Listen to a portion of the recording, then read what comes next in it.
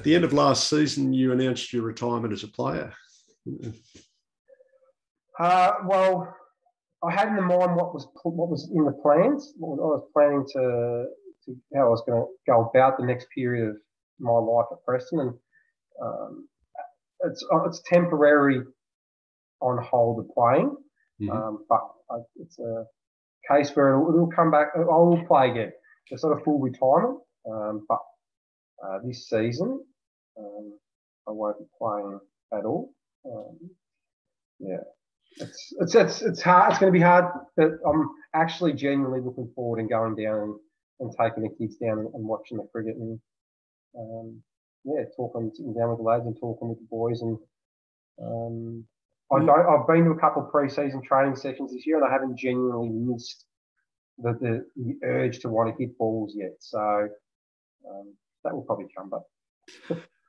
and in August, of course, you were elected uh, president of the club uh, to uh, succeed uh, Gus, who's been an amazing uh, steward in that position over over quite a journey. So you've got big shoes to fill, but everyone says that you're more than capable of fulfilling that. Congratulations. Well, I suppose when you look at my captaincy and the the ones taking over from Owen Delaney, who the previous year took made 630 runs. Um, that was that was rather daunting as a first eleven captain, coming from the two to, to captain the ones. Um, I, I think right now for me, it's it's the perfect time for me to take the reins as, president, especially with the, the current committee that we've got and how stable it is. Um, it's the time, right time for me to take that take that on. Um, and, and Stephen has been just phenomenal for the club. Um, ever since I got to the club, um, he, he does everything. Does there's not many things that, that Gus doesn't do, mm-hmm. um, and that's where I feel like there's an avenue where we need to get better. Is we need to support Gus. We need to support the Penny Wigginton and the, the Martin Gregories. Um, you know, the Dick Norrises and the Sean Harrisons. We need to, to find new people to support them. Um, and I've been at the club 24 years now, so I think it's the right time now is to, to take that on. Mm. So that's, that's part of the reason why we're not playing. Um, is obviously being president and putting time into that, I suppose, and putting time into my own personal game. You've taken it on at a, at a very challenging time for everybody uh, in the community uh, and in sport with uh, with COVID. Um, yeah. presents pr- plenty of challenges for the administration and, and the playing group. Uh, how are you approaching it? Everyone's got challenges. Everyone's got their challenges, not just cricket. Um, it's it's everywhere in life. We've all all got challenges. Um, I face we face challenges at home. We homeschool, but what you do is you've got to adapt. You've got to learn um, how to to change um, and to find positives in in what's going on. And and COVID's here. I don't think it's going to be going away um, anytime soon. Hopefully, everyone can get vaccinated so we can all start playing a bit of cricket. Um, but I think that we had a bit of a taste of it last year. Uh, the committee had a good taste of it. Uh, the structures that we've got in place just continue on from, from last year. Um, Martin done a, a, hell of a lot of work. Penny done a hell of a lot of work. Um, and it's just a matter of adapting. Um, the coaches, they, will be putting their plans in for um, each individual to do their, their training at home. Uh, the, each each captain will be having their Zoom chats. So it's yes, there's a lot of negative, but there's there's a lot of positives that, that we face. Um, and the simple thing of being able to have meetings via Zoom. Um, as I was saying earlier, this Zoom was never really spoken about prior to COVID, but mm. now you can you can have meetings um, and be completely in different rooms, and it's I think that's one of the positives things from this. Yes. Um, one of the um, early appointments was uh, the reappointment of your coach, Luke Bramage, uh, who's a very impressive uh, young man. Um, and I've been uh, just able to uh, get copied in on, you know, the training regime that he does. He's very organised, uh, very um, highly motivated. Um, seems to be a tremendous coach. Yeah, I'm um, very lucky to, to call him one of my best friends. Mm. He's a very good friend of mine. Um, he's he's not what you'd say that I, I shouldn't probably. I might go around the right way of saying this, but he's probably not the perfect cricket coach. But he's a he's a really good life coach and giving you good lessons how to really train the mind. Um, and as you know, cricket is majority of it's in the head. Mm-hmm. If you're confident within yourself, um, you will perform. And that's Luke gives that element of confidence. Let the players um, make mistakes. Let the players um, set their own training regime at training. Um, but in the same time, he also has expectations on the players. So, uh, to, for me, I'm, I'm really excited about working with Luke. Um, but we've had we've had some. This year has been probably the best year for uh, new faces and new people coming to the club since I've been at the club. Yep. So, Tell us a few things. You've got a new captain. Yes, Michael Stretton. Um, he's come across from Greenvale, captain their first eleven. Um, we Gus spoke with Michael when he came from New South Wales because he played New South Wales grade cricket uh, two seasons ago. Um, had a good chat with him. He elected to. He, he, had more aspiration of playing Premier cricket and high level cricket in Melbourne, like uh, obviously Greenvale. We've kept in touch with him over the journey. Um, he's just a very, very good person, very good player, um, and a very um, he's going to be a very good leader for us. Um, and I, he's the the element of our first eleven that we, we have lacked. Um, mm. is, is, finding that the right character who's got the the story behind him, um, where you've got that premier name. Um, so he's he's fantastic um, to have on board.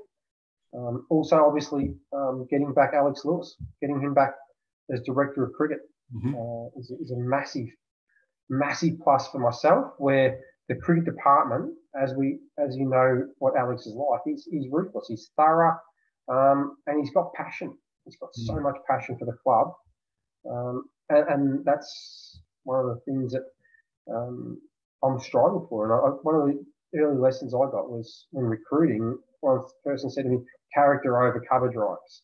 Mm-hmm. Um, you, you, find the right character, and then your club will build from there.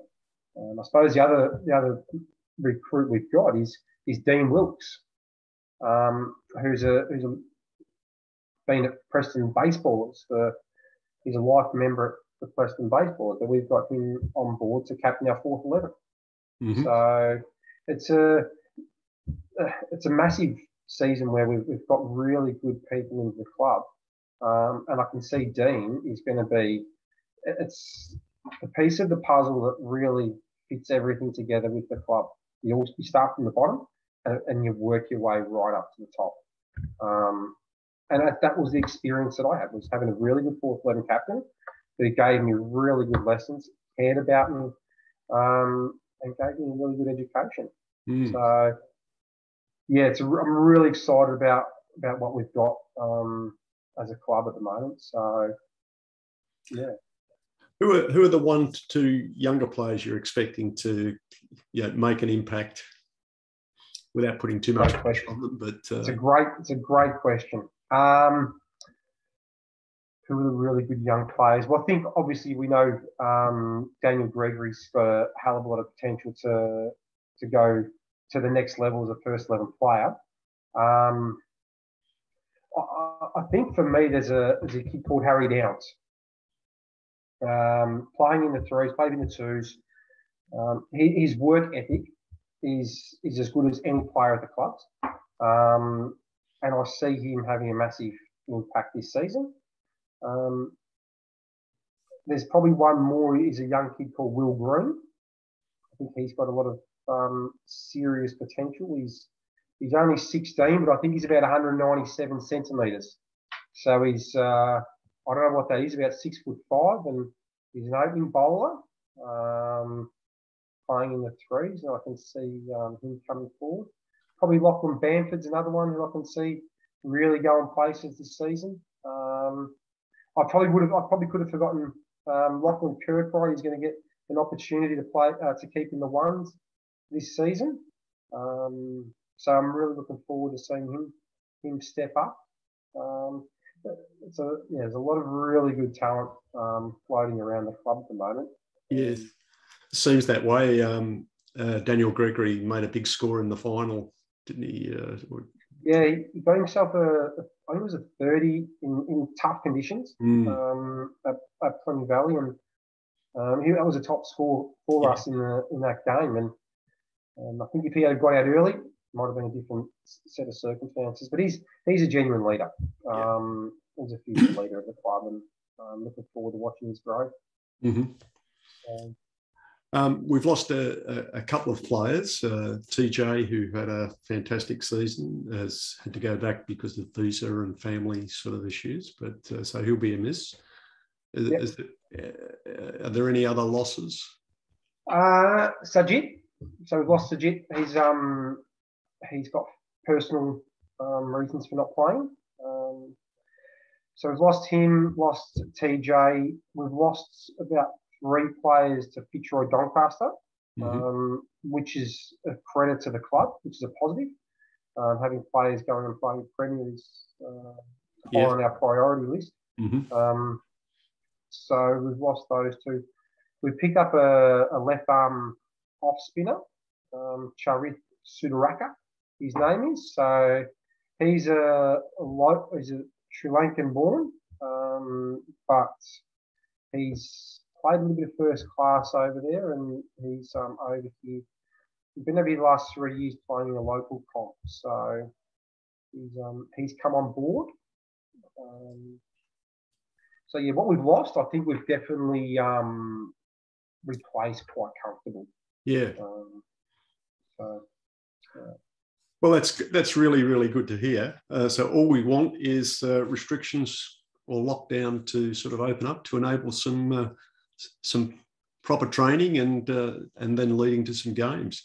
Um, it's all up in the air. We're all, we're, we're all hoping for those restrictions to lift. Um, yeah, it's definitely. Um, I'm, yeah. I'm really keen to and looking forward to getting out there and watching the boys play and um, seeing what we can do as a club. But yeah, so definitely want these restrictions to ease. Um, not just for cricket, but for, for homeschooling and for people's lives to get back to a little bit of normal normal uh, way of uh, going about their lives. So, mm. yeah.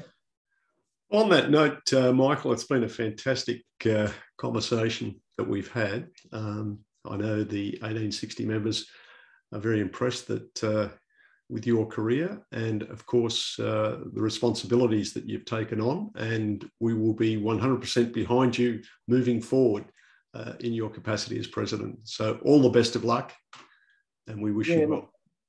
Look, thanks, Lee. It's um for me personally, it's, I've um I've taken on the job, um, wanting to to bring everyone on this journey together. Um, it's 1860. It's the academy. It's um, bringing the, the community together and, and really celebrating what you and I both know has, has been a great club and massive parts of our lives. Um, and for me, it's a very exciting time. So I, I thank you very much, and um, yeah, look forward to seeing you down at Preston City Oval.